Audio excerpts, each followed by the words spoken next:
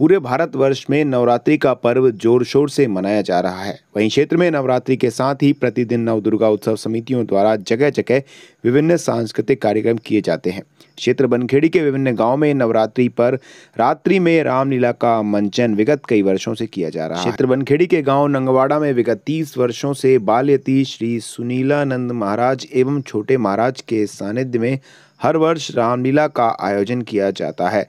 जिसमें गाँव के छोटे बच्चों से लेकर नवयुवक रामलीला के विभिन्न पात्रों की भूमिका निभाते हुए अभिनय कला तो निखारते ही हैं साथ ही समरसता का संदेश भी देते हैं। महाराज जनक कहेंगे अपने रानी सुनैना के साथ महाराज जनक आ, रहे हैं और उनके जो नौकर चाकर हैं आवाज़ सवास अरुआ बरुआ वो सारे गाजो लेकर आ गए हैं और महाराज जनक पाँव पकड़ी। करने के बाद सभी ये तो नगवाड़ा नहीं जनकपुरी है। सभी माताएँ, बहनें और भाइयों से निवेदन है कि भगवान की पाँव पकड़ी। मैं ज़रूर आए और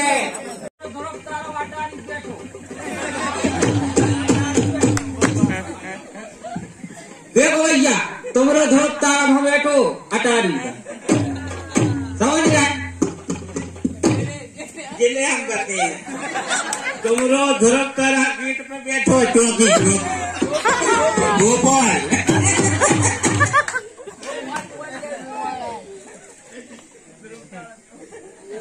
देखो भाई इस वक्त हमारे श्री नरेंद्र मोदी जो देश के प्रधानमंत्री हैं वो बेचारा बहुत है, अठारह ने बता रहे हैं।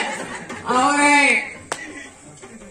नेक को पूरा करते हुए आज की जो लीला है, यही समाप्त की जाती है।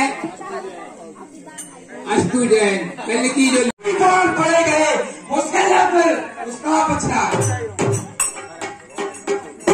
अपने क्षेत्र की सभी छोटी बड़ी खबरों को सबसे पहले पाने के लिए अपने मोबाइल स्क्रीन पर लाल रंग के सब्सक्राइब पर क्लिक करें और घंटे की आइकन को दबाकर नोटिफिकेशन ऑल ऑन करें। देखते रहिए एनवीटीवी।